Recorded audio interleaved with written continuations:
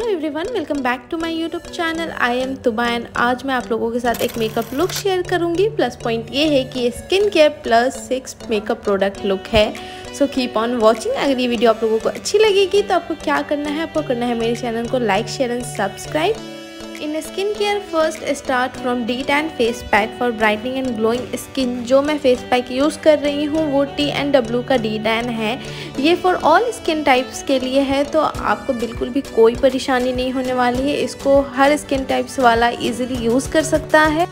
And इस face pack में ऐसे बहुत सारे इंग्रेडिएंट्स हैं जो आपके स्किन के लिए बहुत ही अच्छा है, जैसे कि कोजिक एसिड ऑरेंज स्ट्रैक्स फुलर्स अर्थ ये आपकी स्किन को टाइटन करता है डार्क स्पॉट्स को हटाता है एंड सन डैमेज तो हटाता ही हटाता है तो ये बहुत ही अच्छा है। इसे पूरी फेस पे अच्छे से थिक लेयर लगा लेंगे 30 मिनट के लिए इसे रखना है मुझे, उसके बाद इसे हटाना है।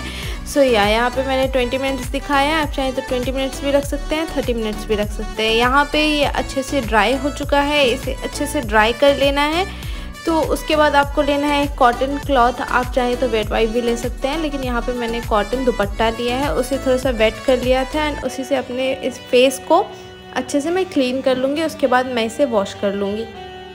Step is eye cream it prevents and remove skin darkening so this irritation and dresses eye cream भी बहुत ही अच्छा है। आपके स्किन केयर में आप इंक्लूड कर सकते हो, क्योंकि इससे आपकी जो अंडर आइज़ होती है, वो लाइटन अप होती है एंड जो भी आपका डार्क सर्कल्स होता है, वो धीरे धीरे धीरे धीरे रिमूव हो जाता है। थर्ड स्टेप इज़ मॉइस्चराइज़र मेरी स्किन बहुत ड्राई है, इसलिए मैं अच्छे से स्किन को मॉइस्चराइज करूँगी। मॉइस्चराइज़र बहुत इंपॉर्टेंट है। आप भी बिल्कुल स्किप ना करें।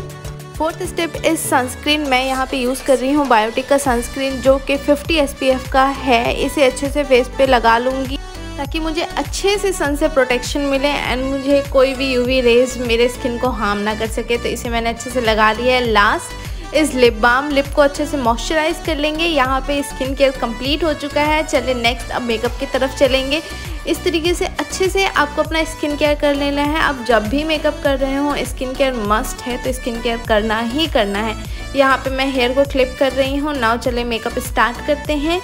उससे पहले मैं क्या करूँगी, मैं पहन लूँगी यहाँ पे बिग बिग इयर जो मैंने मीशो से बाई किया है। मैं सबके सारे प्रोडक्ट्स के एंड सारे इयर मतलब जितने भी मैंने बाई किए हैं, मैं सबका लिंक नीचे डिस्क्रिप्शन बॉक्स में दे दूँगी। आप उधर से जाके चेक कर सकते हैं। सिक्स प्रोडक्ट्स कौन कौन से हैं? चलिए मैं आपको बताती हूँ। First mascara second BB cream third lipstick fourth eyebrow pencil fifth compact and last is eye shadow palette so now चलिए मेकअप को स्टार्ट करते हैं। सबसे पहले मैं यहाँ पे बीबी क्रीम यूज़ करूँगी। आप चाहें तो सीसी क्रीम भी यूज़ कर सकते हैं। दोनों ही लो टू मीडियम कवरेज दे देता है। एंड ये दोनों ही बहुत रीज़नेबल प्राइस पे मिलता है। जिनको फाउंडेशन लगाना ज़्यादा नहीं पसंद, वो बीबी क्रीम या सीसी क्रीम भी यूज़ कर सकते हैं। ये भी काफ़ी अच्छा होता है। मैं चाहूँ तो इसे डेली यूज़ में भी ले सकती हूँ क्योंकि ये स्किन पे भी बहुत ही लाइट है एंड इसकी कवरेज लो टू मीडियम है तो अच्छा खासा आपका चल जाता है। तो यहाँ पे मैंने बेबी क्रीम यूज़ किया। आप चाहें तो लैक्मे की सीसी क्रीम भी यूज़ कर सकते हैं। मैंने बेबी क्रीम पॉन्ट्स की यूज़ की है। उसे अच्छे से मैं अपने पूरे फेस पे लगा लूँगी। एंड मैं यहाँ पे फिंगर से ही टैप टैप टैप टैप करके है ना पूरा ब्लेंड करूँगी। एंड आप देखिए कितने अच्छे से ये ब्लेंड हो रहा है एकदम सीमलेसली ब्लेंड हो रहा है। कोई भी ब्लेंडर की नीड नहीं है कोई भी ब्रश की नीड नहीं है तो आप सोच ही सकते हैं कि ये बिल्कुल भी हार्ड नहीं है। एंड आपकी स्किन पर अच्छे से ब्लेंड हो जाएगा। सो so, यहाँ पे मैंने अच्छे से अपने फेस पे पूरे पे ब्लेंड कर लिया है। नाउ नेक्स्ट पे चलते हैं। नेक्स्ट नेक्स्ट मैं कॉम्पैक्ट यूज़ करूँगी मेबेलिन फिटमी का, इससे मैं अच्छे से फेस को सेट कर लूँगी। बीबी क्रीम एंड फाउंडेशन कुछ नहीं यूज़ करना तो आप डायरेक्ट अच्छा सा कॉम्पैक्ट भी यूज़ कर सकते हैं। कॉम्पैक्ट से भी आपका काम चल जाएगा। जो बिगनर्स है, जो ऑफ़िस गोइंग गर्ल्स है, जो कॉलेज गोइंग गर्ल्स हैं, वो कॉम्पैक्ट से अपना काम चला सकती हैं, नहीं तो जिनको ज़्यादा कवरेज चाहिए, वो बीबी क्रीम और सीसी क्रीम यूज़ करें। नेक्स्ट आईब्रो को फिल इन कर लेंगे ब्राउन पेंसिल से। ब्लैक कभी भी यूज़ नहीं करना। आईब्रो को फिल इन करने के लिए हमेशा ब्राउन या डार्क ब्राउन लाइट ब्राउन या डार्क ब्राउन यूज़ ही करना। उसके बाद मैं अच्छे से अपने आईब्रो को कॉम कर लूँगी।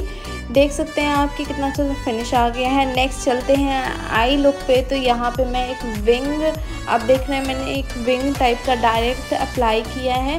विंग लाइनर टाइप का एंड मैंने ये आई शेडो से अप्लाई किया है। ब्लैक आई शेडो ले लिया है एंड उसे मैंने एज अ विंग लगाया है।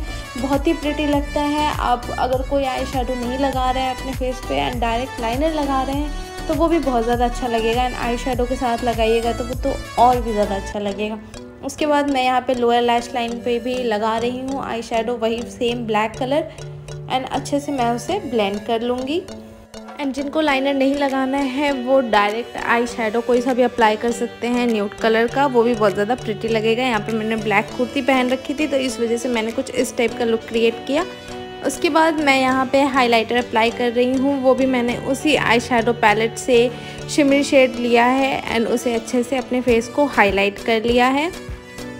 नेक्स्ट यहाँ पे मैंने उसी आई शेडो पैलेट से ब्लश का कलर लिया है पिंक कलर लिया है एंड मैंने उसे अपने चिक्स पे लगाया है चिन पे लगाया है नोज़ पे लगाया है। आई शेडो आपका बहुत सारी चीज़ों में यूज़ आ सकता है। आई शेडो पैलेट अच्छा सा हो एंड उसमें से आप बहुत कुछ अपने मेकअप का कर सकते हैं।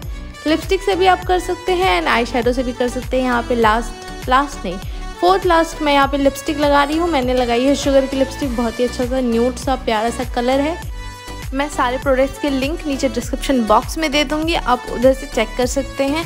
तो यहाँ पे मैंने लिपस्टिक को अप्लाई कर लिया है, अभी मैं इसमें हल्का सा मैजिक अप्लाई करने वाली हूँ, जिससे आपकी लिप्स बहुत ही प्यारी लगती है एंड थोड़ी सी बिग लगती है। तो यहाँ पे मैंने लिपस्टिक लगा लिया है नेक्स्ट मैजिक करते हैं। जो मैंने कलर ब्लश के लिए लिया था, मैं वही कलर ले रही हूँ, pink colour and middle of lips पे मैं अप्लाई कर रही हूँ। आप देख सकते हैं कि इससे कितना अच्छा सा फिनिश आया है। लास्ट में यहाँ पे अपने आई आई लैशेज़ को कर्ल कर रही हूँ। तो ये प्रोडक्ट्स में नहीं है कलर मैंने ऐसे यूज़ कर लिया जैसे ब्लेंडर को यूज़ किया, वैसे ही मैंने कलर को यूज़ किया है। मैंने अपने लैशेस को कर्ल कर लिया है। देन यहाँ पे मैं मस्कारा अप्लाई कर रही हूँ। नाव चलते हैं मेरे फाइनल फिनिश लुक पे। ये रहा मेरा final finish look I hope आप लोगों को अच्छा लगा होगा। अगर आप लोगों को अच्छा लगा होगा तो आपको क्या करना है? आपको करना है मेरे चैनल को like share and subscribe bye bye